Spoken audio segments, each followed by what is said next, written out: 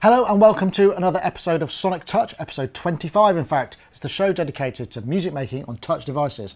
I'm Nick Batt, editor of SonicState.com. And I'm Gaz Williams, a, a musician and a producer. So, in recent months, together with the uh, announcement of the iPad 4, was what we'll call it, which is the, the most powerful one, and also Audiobus, there's been a sort of niche in the app market that's been fulfilled.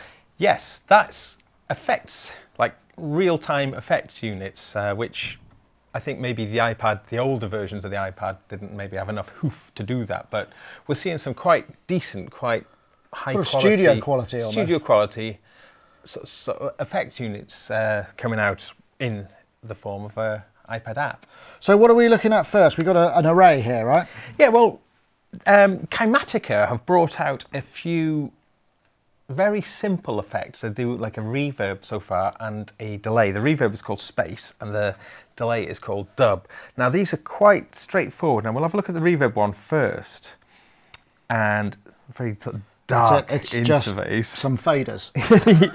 Pretty much. And in many ways, that's what's quite appealing about it because it's a very straightforward thing to use. Uh, in terms of what it can do, is it, it can take uh, an input, process the reverb, and give it the output. And more or less, that's it. Uh, if we have a look here, we can assign MIDI.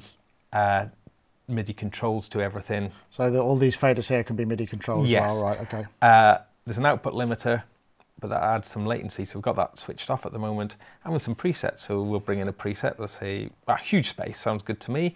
And what we'll do to demonstrate this is uh, we'll bring a guitar, Okay. and we're plugged in via uh, an Apogee Jam. Apogee Jam right here. Mm-hmm. This is a uh, PV Jerry Donahue uh, Omniac, which is actually a lovely Okay. guitar. So if you want to try playing some of the controls, Nick, as I just play some chords. I'm just messing with the mix now. Oh, that one doesn't like it. Uh, that's the scale, so that Take the room size down. Add a bit of pre-delay. Oh, we've got some filtering.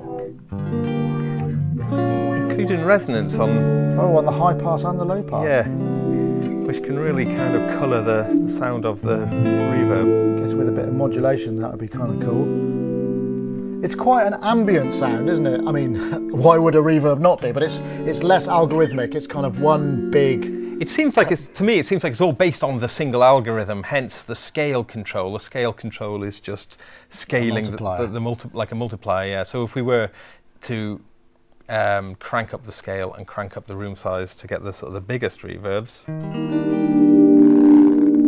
little bit hot. take some of those resonance down as Oh well. yeah, that's my fault. a sucker for resonance. and it's very ambient. It's lovely, isn't it? It's It is real- nice. Yeah. Oh. Yeah, and to be able to, to filter the reverb tail is. And I'm guessing if you can um, MIDI control some of those, you can get some quite. You could get some modulation effects. Maybe you could run like a MIDI sequencer in the background and have that triggering the sending control values. All sorts of things you could do. That's a great idea. Hey, you can have that for nothing. so, yeah, so pretty much quite simple, you know. So it hasn't got lots of modelled rooms, or you know, it hasn't got any Right. uh, convolution impulses or anything. So it's relatively straightforward. I know it's got a record button here, so it'll record. It'll just be just a basic record the output, uh, Okay. which you know could be quite nice. Useful. And uh, very dimly here, Hmm. I don't know if this will pick up on the screen. There's the DSP. Uh, this is a long reverb. Uh, DSP 17, 16, 17 percent. Take that resonance down a bit. So that's actually quite useful, I think, for, for seeing. That's something you don't really see CPU meters on much stuff. do you? No. And also, that bodes well for use in Audiobus then. Uh, so if we look at Audiobus, and we can see how we could insert this into the chain of Audiobus. So as with every time you use Audiobus, always start from Nothing. nothing. So, so when you double click, there's nothing here. Close any apps. Always start Audiobus first. So if we go into Audiobus Now, when Audiobus first came out, there was very few things that actually could occupy this middle slot here. So I'm going to choose my input and I'm just going to select it to be microphone input, but in this case, obviously, it's the Apogee Jam. And the output, I'm just going to set it to be speaker output. And then in the middle now, we'll now put our and space. You launch it from within. From within. Right. And, and there we are. We can see with the flashing chevrons that the audio signal is coming through. And there it is. Now, if we see it, and we can see that the DSP is still reading the same. Right. Oh, it's gone up to 19. So maybe Audiobus is putting a little more load on it. It's worth mentioning that also we're running this on the iPad 2, um, primarily because uh, with the iPad 4, which we've got, we haven't got an actual dedicated audio input, um, so that's why we're doing it. But I, I, we did try this, just running it, and it works at roughly 5% less, isn't it? So, so for this is uh, 15, 16%. On the iPad 4, it was 10, 11% mm. CPU. So like, as we know with Audiobus now, I can go to the output, for instance, and I could change the output and put in Cubasis or, you know, GarageBand. Why don't you put dub? Because then we can look at dub as well, eh? Uh, okay, so let's, uh, let's get dub in. So this is also by Kymatica, and you'll see it's got the same layout as Space with a few different parameters. If we go to the menu, the same options. So we've got the same MIDI controls. Uh, uh, uh, but this now is all about a delay. So just let's mute the reverb. So just jump back here and um, let's just take that out for now.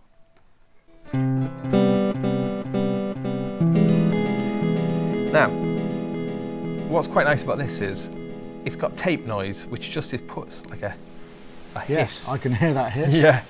That's funny, isn't it? When now where digital's so clean, we actually want to reintroduce yeah. noise. That's bizarre, isn't it? Well, this is kind of because part of the design ethos of this is to try and simulate the kind of reverbs that we used in in dub reggae and that kind of things, right. which are quite noisy traditionally. So, and also you've got your warble rate and warble amount. Again, things which weren't necessarily desirable, but. So let's. Well, we can get some chorusy effects and something really. Again, yeah. this feels very kind of ambient and floaty, which I, you know it appeals to me. But so, but if you're looking for something yeah. sort of tight and clean, it might be a little less something you jump to.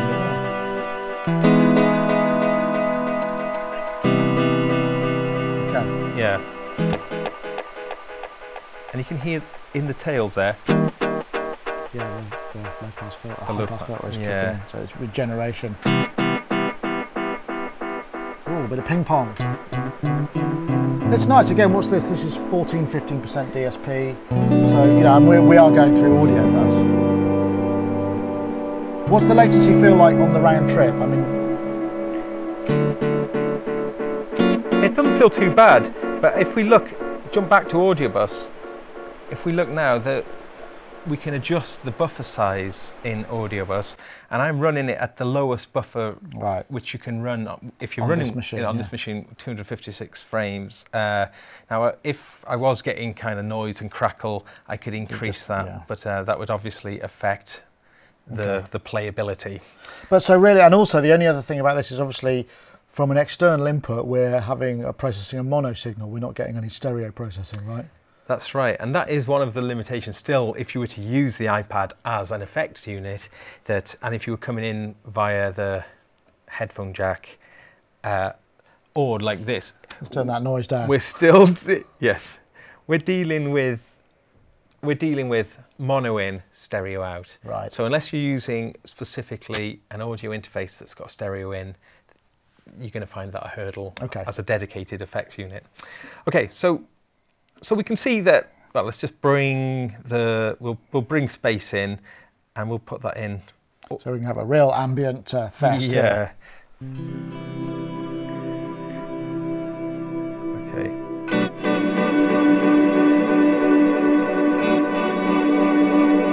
Probably would swap the order around. Really, have it's the, the sort of thing that you, yeah, it's, it's the sort of thing you do when you buy your first two Boss uh, effects pedals, your reverb and your delay. You just this is the kind of sound you can get, but it's actually it's got a slight Lexicon vibe to it, hasn't it? It's got that real thick ambient quality.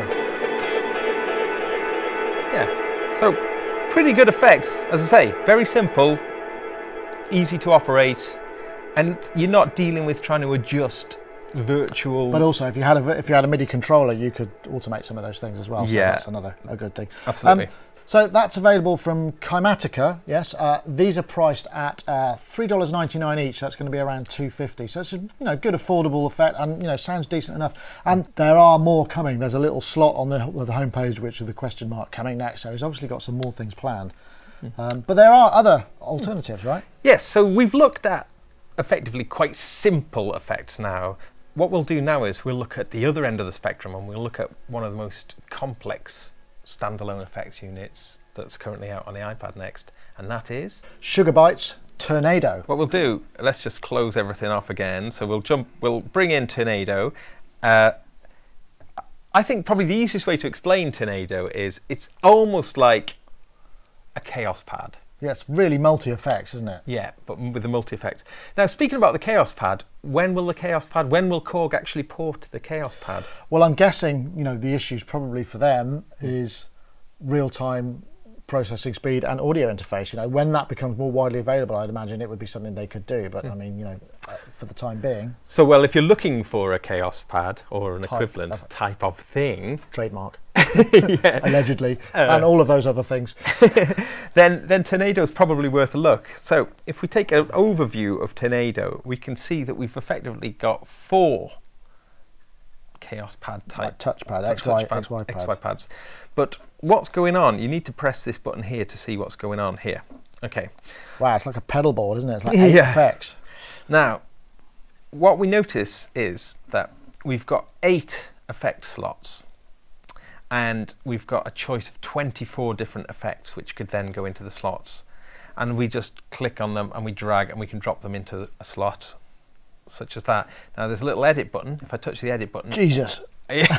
exactly. Wow. And that So- sort of reminds me a little like the uh, old Filter Queen and the. Um, The ele- electric stuff. Yeah, or- Electrix, yeah. Yeah. So, what you will notice, you might think, "Oh my gosh, look how small and fiddly that is," and it is quite small and fiddly. But if you double tap on a bit of space, it will actually, you know, you have got a bit of a zoom.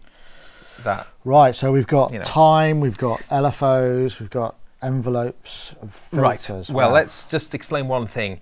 For each of the effects of the 24 effects that we saw, they all have got a similar format in that in the dedic- in the specific effects along this top section here, but all of them have the same type of, Of modulators. modulators, which is two LFOs and an envelope follower, and every control can be set. The LFO can be routed to every single control. Well, both LFOs, and Right. Maybe what we should do is back up a bit and Yeah. listen to the complexity we can achieve. With Okay. okay. I'll prime play and you can. You, so we better find a patch that we, we know is going to sound. Okay, so let's. Uh, well, first thing, what we need to do is if we're using a live input like this, we need to jump into the settings. Oops. The way we do that is we, we touch here and we go audio settings. And at the moment it's set to internal, uh, but we're going to turn it to exter- external audio. So you might miss that, so it's good to notice that that's there. Right. Why is it? Adjustable buffer down Okay. as, as short as 64 Oh, samples. that's impressive. Yeah, so this iPad 2 might croak a little bit if we did that. We can test We'll that. stay on 256. but we'll stay on 256. Okay, so now I've got my input. Let's just, uh, th- this red button here, that just resets. Resets all. So there's my dry signal. Right, so. Okay.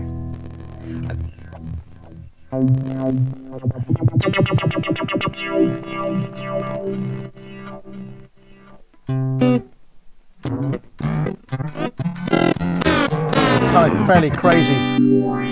Oh, that's nice.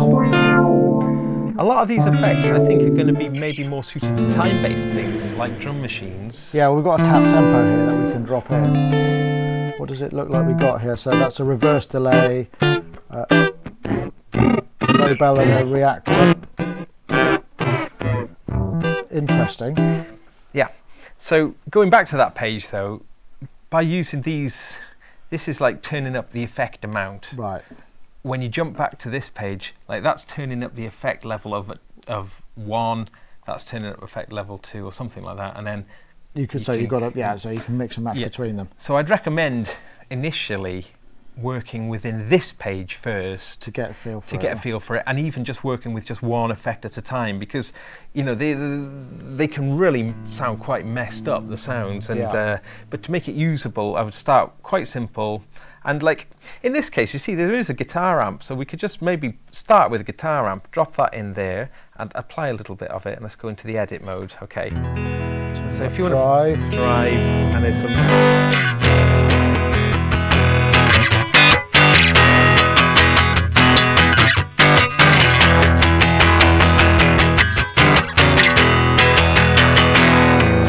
Okay, so Yep. we've got the, the gate. and It's then, quite nice sounding actually. It almost sounds like a blackface, doesn't it? It's a- Well, you can see, so what happens now, we can turn on with these little, let's double tap to go in, and we can we can see these little plus and minuses. Wow, it's quite So- fiddly, isn't it? Yeah, But it's a bit fiddly, but you can see you can set a positive or a, or a negative. so we could modulate the drive or any of these parameters. Okay. Exactly, yeah. So, so yeah, let's try modulating the mid so we could get like an auto wah type of effect.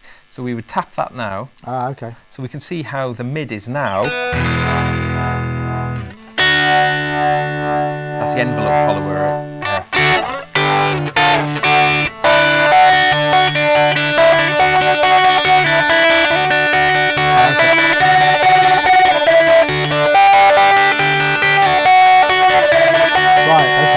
And now the rate is governed by here. This gives a shape to the LFO, and like tap on that. Wow. And my head is already beginning to spin, this is one effect Exactly. a possible two. And, and that's just one of the four. LFO. Yeah, exactly. Right. So you can imagine when you factor all of this in, we're looking at a very complex yeah. effects. Uh, So you can get really tweaky with it. Yes. In fact, one thing that I did notice when we go into the presets, uh, which Yes. I think are, uh, if I double tap out again, are here. Mhm. Uh, These are oh, presets for the guitar amp. for the guitar. Oh, okay, right. Yes. So where am I looking? I'm sorry, I'm a bit lost. So uh, Yeah. There's no on the live input. There's no presets ah, okay. for the whole thing. But there, there are a bunch of presets that have been made by Beardyman, who is a very famous beatboxer. Right. Does loads and loads of crazy stuff. So, So what we'll do is we'll swap the audio engine over and we'll set it to the internal player.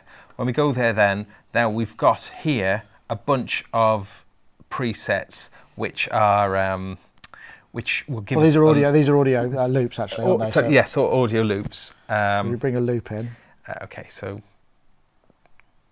right, let's just play that and see what that sounds like. I'm going to reset that so we can hear it.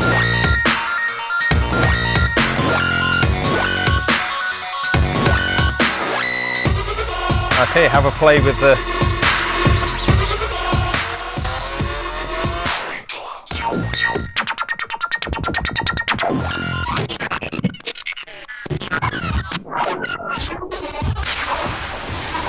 The reverb there.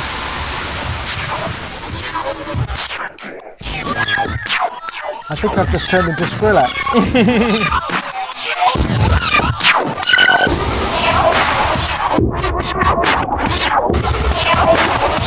But by the same token, that could be an Audiobus feed from a virtual instrument or a DAW or any kind of Exactly. thing. So, I mean, you could use this as part of a performance aspect. Say if you were running backing tracks, for instance, I, I don't know whether I mean I don't know if Audiobus would allow. This what would be neat is you need multiple Audiobus paths. So you've got a clean feed which Mm. is not being affected, and then one is. So you can just kind of drive send things off. That would be kind of cool, but perhaps for another another version of the iPad. Yeah. Um, but we can see then, so this, when you heard the effects there, there was all kinds of crazy stuff going on. So you could have a look at what's going on in this particular preset. We could jump back here.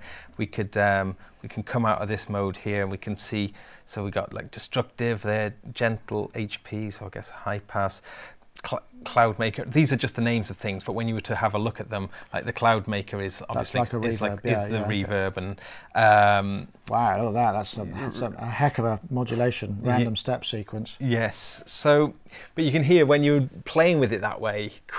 And presume this is tempo synced to the, the loop, so that's why it was all sort of yeah. okay. Absolutely, absolutely.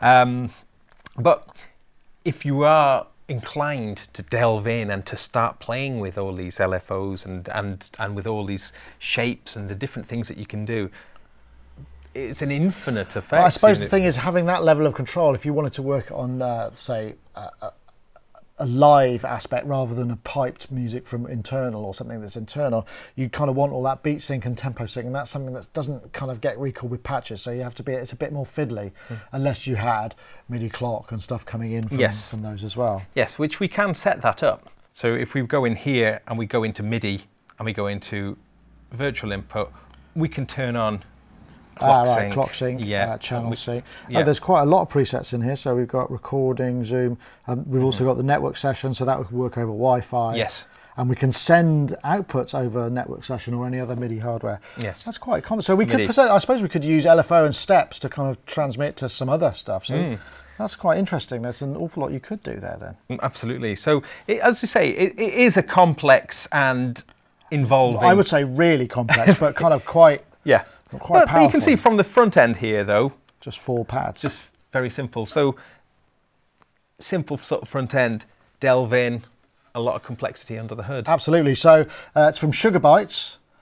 It's uh, it's not it's a kind of premium effect. So it's uh, 1999 uh, US dollars, uh, which I'm guessing is probably going to be around 15-ish, 16 pounds. Yeah, 16. some, some that's 15, 16 quid. Yeah. Um, but it gives you a heck of a lot to play with, a lot to think of. If you were looking, maybe it'd be like taking a good book on holiday, wouldn't it? Mm-hmm. I mean, think of this as like sort of Anna Karenina of apps, and then you would get in there and start delving away. It would Yeah. sort of keep you busy for a while. I. Definitely, and and I, I kind of wanted to show with the guitar in a way because I think mainly Turnado may appeal more to sort of DJ type effects and that kind of thing, but it's no by no means limited to that. And I think if you were, you know, I mean, there are great guitar amp simulators, and Yeah, and they've got all the pedals.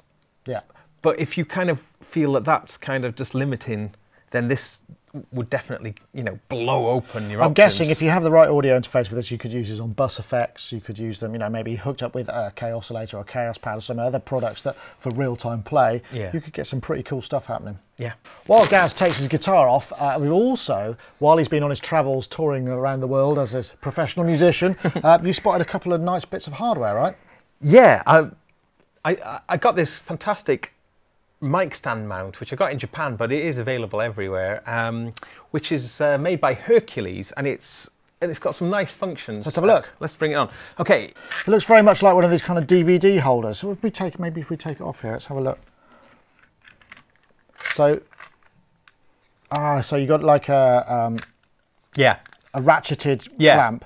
This presumably means that it fits one size fits all. absolutely. So I think you could probably use other tablets as well in it, uh, but certainly other the the tablets, but certainly iPads ones, like iPad twos, and and it's a great fast release as well. So rather than having to fiddle around getting things in and out, you, you know, it does go on on and off very quickly. So what happened? We've got a ball joint mount Ball here. Ball joint, which uh, which I think is makes a lot of sense. So if we We just get it under here put- a bit. We can probably have a oh look. right, So- okay, okay, so this this is the. Oh gosh, you can get it really tight. It's good, Yeah. solid plastic. So you can Yeah. tighten this up. Jesus, you're much stronger than me.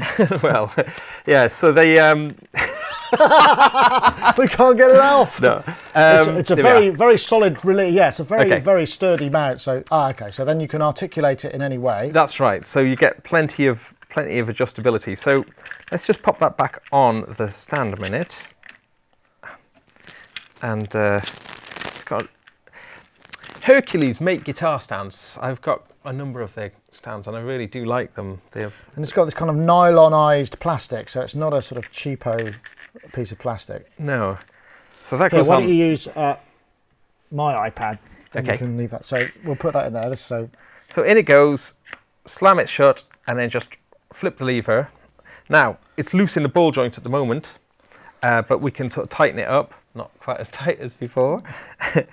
and but one of the advantages with this one, which I which I quite liked, was that you know you can just by slackening the ball joint, you can very quickly turn. very very quickly orient and it's not going to fall out of uh, any orientation either. No. yeah. Exactly. So, as I say, this is a company who who makes musical instrument stands, so they know a thing or two about this. And I, I just thought this was very neat. And there was another part that came with it, which is uh, All right. So that would screw onto the board. So that Yeah. gives you the opportunity to stand it up. yeah. So if we just whipped it off here, and then popped it out of its the Ah. ball joint. Stick that In on there. there, and then And you have to take this little piece, clip this what, what's off. that for? That tiny piece of losable plastic. This tiny bit of losable plastic is for, well, let's say if we were stood like that, but then if we wanted to do it in portrait, Ah, it's an extra leg. That sounded like something. Oh, we've forgotten in the design phase. All right, but yeah. okay, well, that's neat enough, isn't it? I think so. I mean, and again, it's got this nice quality to it.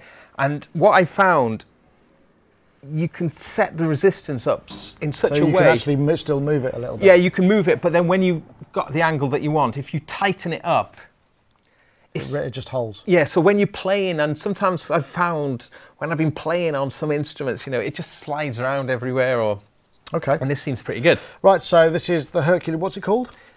Well, I think it's a Hercules iPad stand. And it, uh, we've seen it for about. Uh, it's about twenty-eight quid, twenty-nine quid. Yeah, Um, I guess thirty odd dollars. 30, 30, yeah, it's probably much cheaper in the states. yeah, so yeah, that's useful. Yeah. But there's something else as well, right? yeah. Now, these there's a speaker.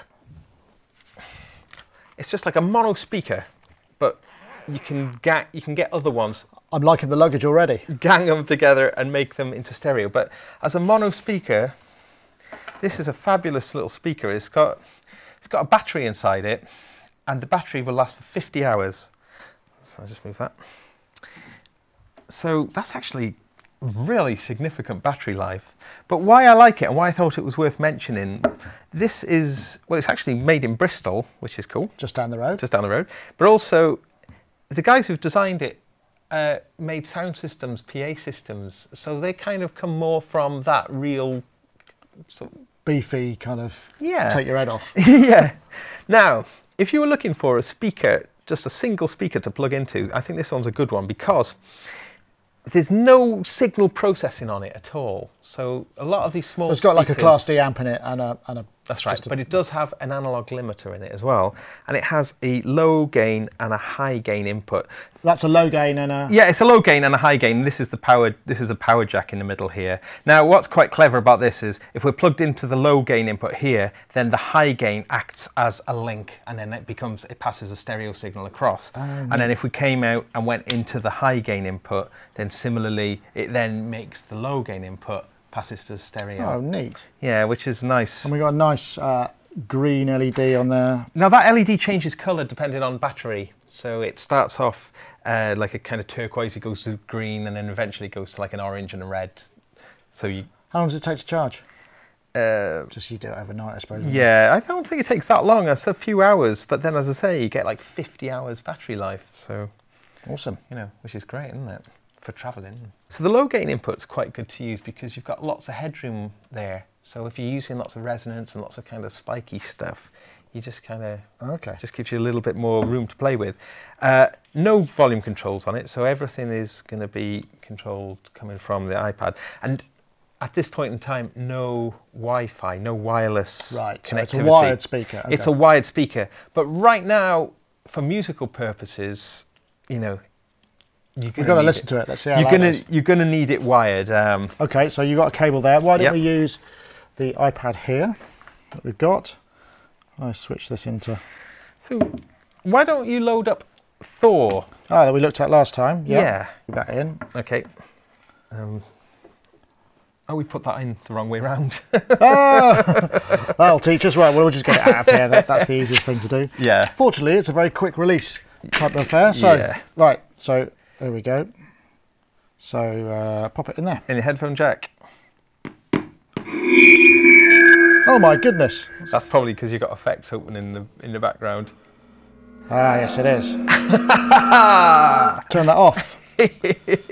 right, I like live and that. direct. Wow, that's pretty loud, actually, isn't it? Yeah, we're in the low gain input at the moment.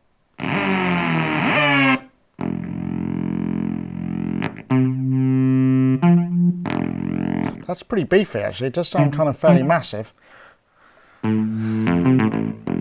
Let's swap the. Okay. And we'll go into the high gain then. So you could use it kind of busk. Okay. Oh, that's starting to clip on input, right? Yeah. So that's why having that. That's why I thought it was really cool from a. So you presumably you could use this for like busking, I suppose, that kind of thing, yeah? Oh yeah, I mean it is. It is pretty loud. Let's see if I can get some sort of sequence thing going on. This.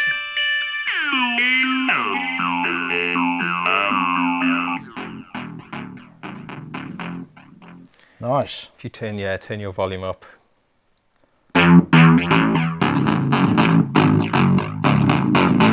How big is that? And that's a that's pretty It's small, isn't it? Three inch speaker. Oh yeah. If I, if I put my finger on here, I can feel the whole thing kind of vibrating. So But as I say, because the people who make it are from that sort of PA background, you know, I think that the design is kind of. It, it, it means it's a little bit more like a. it feels beautiful. It's very solidly built. And Yeah. Sort of heavy duty. It seems like you Yeah. could drop it a few times and it wouldn't really have a problem.